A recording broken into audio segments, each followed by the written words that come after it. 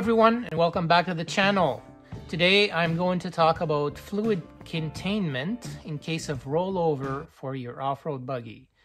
And I'm going to talk also about venting, some of the uh, things that I've done in my own buggy. Hopefully this helps you. Okay, so the first item we're going to talk about is the fuel cell, fuel cell venting. So one of the uh, the weld-on fittings that I have on my fuel cell uh, is for a vent. So normally for any fuel cell that you have, you're going to have three different fittings. So one of them is uh, for sucking the fuel out. One of them is for the fuel return. And then another one for the vent. So any uh, the one for the vent here is connected to uh, a hose. Uh, and then I do put a manual valve on it, on, on mine, you know, as, a, as an added safety uh, feature. Uh, everything else uh, is is closed on the, on the fuel cell. Obviously, the cap it doesn't leak. It has a rubber seal on it, so that's not an issue. Everything is closed here. And then this this uh, vent here it goes into this kind of device that I have built. So what is exactly this device? It's, it's just some fittings here that connect to a rollover valve. So this is a rollover valve you can buy from Summit Racing or Jegs. It's just a little ball um, on a spring that uh, as soon as the buggy rolls, uh, either on its side or completely upside down, it will stop the fluid from leaking out. Um, and then what I wanted to do, you could basically just air it out to the to the to the air here, but because we wheel in uh, in dusty environments, uh, it's always a good idea to have uh, a filter, and this filter will basically um, allow you to uh, to filter the uh, the air because obviously as the fuel tank uh, as the fuel is consumed um, there's going to be air that's going to be created and there's going to be a suction of air uh, that that comes in from here. So this is a special fuel uh, fuel uh, cell filter and I will open it up in a second to show you uh, how it is it made. Uh, it's not just it not it's not just a regular filter. It's a special one made out of uh, beads, uh, and I'll show you how it looks like in a second. And then basically the air comes in through here, and then it, it comes in through here. Obviously, in this uh, configuration, the uh, the rollover valve is is open, and then the fuel valve, fuel cell can vent. However, as soon as the buggy rolls sideways or upside down, uh, this blocks the the uh, the the, the uh, fuel from leaking out of the van. So this has worked really good for me. I've rolled the buggy uh, three three or four times so far, and I've never had any issues with fuel leaking out. Okay, so I did crack it open, and I removed the cap, and then you, as you can see here, there's this little filter it uh, it works really well for uh, filtering the air going into the fuel, and it doesn't get destroyed because of the fuel uh, uh fumes. So this is a special uh, vent cap for a fuel cell, and you can buy that one from Summit Racing. So the next uh, item I'm going to talk about is the engine itself. So basically my engine still has the PCV valve, and I think that is important to keep the PCV valve because it will suck all the fumes out of the uh, the crankcase.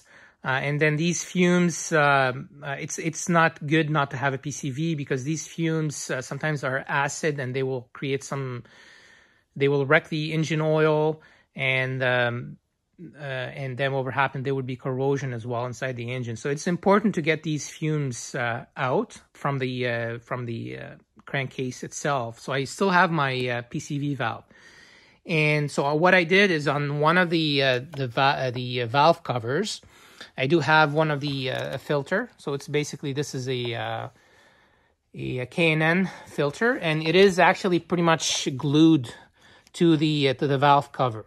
So I have not seen oil come out of this. Uh, it's it basically it, it, it, it's pretty good at stopping the oil from fl- flowing out, but it does let air in. So what for me, what I do is basically I have the vent on one cover and then on the other cover I do have the PCV so this is the PCV right here. And then the PCV itself is connected to a hose and this is what is in the PCV hose. So I do have a manual valve here that I can just, I can reach it from the driver's side.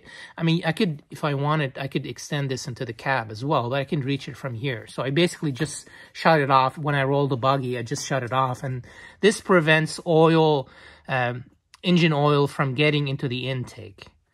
So, and what I did too is I put a, an oil uh, uh, filter.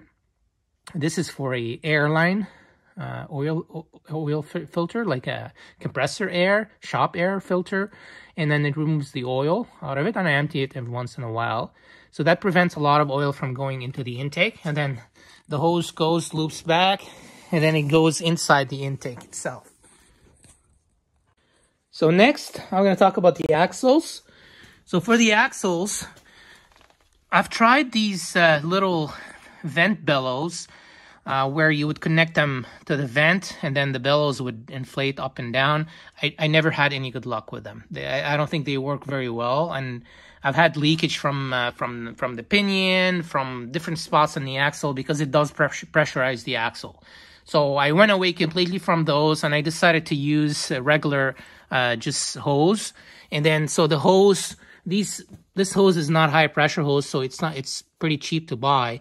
And I, I have one for the front axle and I have another one for the rear axle and they do connect together with a T. So this is, this is the vent from the rear axle and this is the vent from the front axle. And as you can see, they're connected to a T and then it comes up into my catch can. So this is a three-tier catch can, and then it has three different manual shut-off valves. So one of them, it has this tank that I built has actually three different compartments in it. So I'm gonna try to get the best image of it. Here it is. So it's got three different uh, vents. So the, the, the upper one is for the transmission. The middle one is for the transfer case.